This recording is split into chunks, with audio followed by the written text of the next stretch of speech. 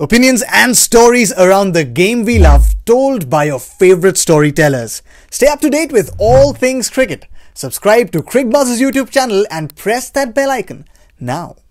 वीरू भाई जो दिग्गज हैं उनमें से एक बहुत बड़े दिग्गज जिन्होंने इसकी क्लास साफ़ साफ़ कह दिया है आखिरी मुकाबला ट्वेन ब्रावो है। दो इनके विश्व कप जो जीते हैं वहाँ पे बहुत बड़ा योगदान रहा है। फ्रेंचाइज क्रिकेट में इन्होंने भरपूर अपना नाम कनाया है चाहे चेन्नई के लिए या दूसरे जो वहाँ पे लीग्स खेल रहे हैं। मैं अगर आपसे पूछूँ ब्रावो साहब की legacy with regards to 2020 cricket अगर आप यू you नो know, आप लुक बैक देखेंगे नब्बे मुकाबले you know seventy eight wickets अगर आप देखें रन uh, भी काफ़ी बनाए हुए हैं उन्होंने close to about twelve thousand twelve hundred and fifty run इनकी लेगेसी आपके नज़र में क्या होगी Viru? I think one of the best allrounder रहेंगे टी ट्वेंटी फॉर्मेट के uh, और वन ऑफ़ द बेस्ट गेंदबाज रहेंगे स्लॉक्स के uh, क्योंकि uh, सबसे ज़्यादा अगर विकेट लेते हैं रन नहीं देते हैं तो वो अंतिम ओवरों में तो अगर चेन्नई ने जितने टाइटल जीते हैं जब से ये आए हैं तो इनका कंट्रीब्यूशन बहुत ज़्यादा रहा है चेन्नई के लिए। इवन सबसे ज़्यादा ट्रॉफियाँ जीते हैं टी ट्वेंटी की है ऑल ओवर द वर्ल्ड तो ये उस टीम के तो कप्तान रहे हैं उस टीम का हिस्सा रहे हैं जहाँ पर वो वो चैंपियन बनती है टीम तो इनकी legacy no doubt West Indies के लिए बहुत बहुत बड़ा नाम है डीजे ब्राओ और वहाँ के बच्चे ज़रूर चाहेंगे कि वो डीजे ब्राओ जैसे बने ऑलराउंडर जो यूटिलिटी प्लेयर बने ताकि वो बैटिंग भी करे बॉलिंग करे और फील्डिंग गजब की। हमने देखे बहुत सारे कैचेज इन्होंने कमाल के पकड़े हैं आईपीएल में भी और टी ट्वेंटी वर्ल्ड कप में भी तो नो डाउट ये एक वो लेजेंड हो गए हैं टी ट्वेंटी फॉर्मेट के मैं तो और अच्छा हुआ अच्छा हुआ कि इन्होंने पहले बोल दिया कि मेरा आखिरी मैच है, क्योंकि कम से कम एक फेयरवेल टाइप हो जाएगा उनके लिए। कभी कभी होता है, खिलाड़ी बाद में रियलाइज़ करता है कि अगर क्रिस गेल सपोज़ ये रिटायर्ड नहीं होते और अगले वर्ल्ड कप खेलने की इच्छा रखते हैं और पता चला उनको सिलेक्ट नहीं जाएगा। तो उनको जो फेवरेबल मैच मिलना चाहिए, वो नहीं मिल पाएगा। अजय भाई फ़र्स्ट मूवर एडवांटेज भी आप कहेंगे कि ट्वेंटी ट्वेंटी क्रिकेट में ज़्यादातर जो आपने स्लो बॉल्स देखी हैं या दी इन्वेंशन जो ट्वेंटी ट्वेंटी क्रिकेट जो फॉर्मेट एक्सेप्ट करता है ये कहीं में उसमें इनका फ़र्स्ट मूवर एडवांटेज है?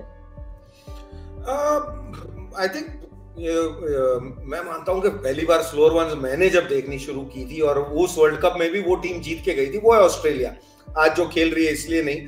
1987 में जब भारत भारत में वर्ल्ड कप हुआ था तो उसमें साइमन ओडोनल साहब आए थे। वो साइमन ओडोनल थे जो back of the hand slower one करते थे, साथ में स्टीव वॉ तो वहाँ से शुरू हुई थी। ड्वेन ब्रावो ने जो ये मॉडर्न डे क्रिकेट है फ्रेंचाइज क्रिकेट है, उसमें जो दबदबा बनाया है, जो वीरू ने अभी ज़िक्र किया है कि वो you know modern day champion modern day legend आप बोल रहे हैं उनको। कि इस फॉर्मेट में जिस तरह से देखा जाता है, चाहे खेल में हो, खेल के इर्द गिर्द हो, और जो आजकल की परिस्थितियाँ और डिमांड्स हैं कि गेम के बाहर भी लेकिन अगर इस सिक्का का मैं दूसरा पहलू देखूँ ना, क्योंकि वेस्ट इंडीज को जो मैं याद करता हूँ ना वेस्ट इंडीज जो डोमिनेंस हुआ करती थी, वो प्योर क्रिकेटर्स से होती थी। जो बॉलर होते थे ना, उनसे फियर करा करते थे और वो आपके विकेट टेकिंग बॉलर चतुराई से नहीं स्किल से लिया करते थे। और जो उनके बल्लेबाज होते थे, वो बल्लेबाज होते थे जो डोमिनेट करते थे और सिंगल हैंडेडली मैच जिताते थे। ड्वेन ब्रावो ने शायद आके उसको यू नो बिल्कुल पलट दिया और बिट्स एंड पीसेस प्लेयर्स जो होते कहते हैं ना कि नॉट उस तरह से नहीं मैं यू you नो know, मेरे दोस्त को बेचारे को बहुत तंग करते हैं जब वो यूज़ करते हैं। लेकिन क्योंकि प्योर गेंदबाजी के लिए नहीं खेलते प्योर बल्लेबाजी के लिए नहीं खेलते प्योर फील्डिंग के लिए नहीं खेलते। ये खेलते हैं क्योंकि एक कंप्लीट यूनिट जब आपको एडजस्ट करनी हो ना तो इनसे बढ़िया आपको खिलाड़ी मिलता नहीं है कोई। तो मैं ये नहीं कहूँगा बिट्स एंड पीसेस ये फलक्रम हो गए थे। इनके इर्द गिर्द फिर आप गेम चलाते हैं। तो यू नो नेगेटिव में देखना है, आप उसको बिट्स एंड पीस देख लीजिए और पॉजिटिव में देखना है तो फलक्रम समझ लीजिए। फिर इनके इर्द गिर्द आपको टीम बनानी पड़ती है। तो कहीं ना कहीं जो वेस्ट इंडीज की हालत रही है पिछले कुछ सालों में, ये इंडिविजुअली आंकड़ों में सबसे आगे है, लेकिन ये तो मानना पड़ेगा, क्योंकि ये भी आंकड़ों में दिख रहा है कि वेस्ट इंडीज की टीम जब ये आए थे और जब ये छोड़ के जा रहे हैं, बिल्कुल नीचे छोड़ के जा रहे हैं, अपने आंकड़े बहुत ऊपर करके गए। तो एज अ प्लेयर चैंपियन रहे हैं मैंने इनको एंजॉय किया है और खाली प्लेयर नहीं इनको डांस करते हुए भी मैंने बड़ा एंजॉय किया। सर शादियों में लेगेसी छोड़ के गए हैं वहाँ पे संगीत के दौरान बंदे एक प्लेट में पनीर के साथ चैंपियन चैंपियन करे जा रहे हैं। ये इनकी लेगेसी है ये छाप छोड़ के हैं। बट मैं वही कह रहा हूँ ना टीम को चैंपियन छोड़ के नहीं गए ना।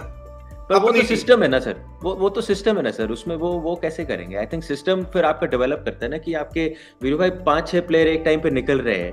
ट्रांजिशन निकल रहे हैं तो सिस्टम डिसाइड करता है कि अब ये ट्रांजिशन पीरियड है जिसमें ये ये लड़के हमारे साथ इनको आगे लेके जाए। आई थिंक ये बेस्ट टीम थी इनकी अगर अगर ये अपने पोटेंशियल पर खेलते तो ये इनको ज़रूर हम लोग भी मानते हैं, बड़ी डेंजरस साइड है, अगर चलती है तो शायद फिर ये वर्ल्ड कप ज़रूर जीत सकती है, लेकिन उसका नेगेटिव फ़ायदा ही भी होता है, अगर उनके बल्लेबाज नहीं चले तो फिर वो नेगेटिव पार्ट भी हो जाता है ना आपके लिए, क्योंकि आप तीन चार बंदों पर डिपेंड करते हो, अगर वो ही नहीं चलेंगे तो फिर जीतना मुश्किल हो जाता है। तो नो डाउट डीजे ब्रावो मेरी नज़र में तो जब से वो आए थे तो एज ए ऑलराउंडर मुझे बड़े पसंद आए थे। उम्मीद मैं तब ये कर रहा था, मैं खेलता था कि यार इनको ना खेलना पड़े ज़्यादा बेहतर, क्योंकि दो तीन बार मुझे आउट भी किया उन्होंने वनडे क्रिकेट में। बट धीरे धीरे थोड़ा आप जब खेलते हो ज़्यादा, तभी आप उनको टैकल कर पाते हो। तो no doubt T twenty format के ये वन ऑफ़ द लेजेंड्स हैं वेस्ट इंडीज टीम के। और उम्मीद करता हूँ कि आज शायद जाते जाते अपने दम पे शायद मैच जिता के जाए ऑस्ट्रेलिया के खिलाफ।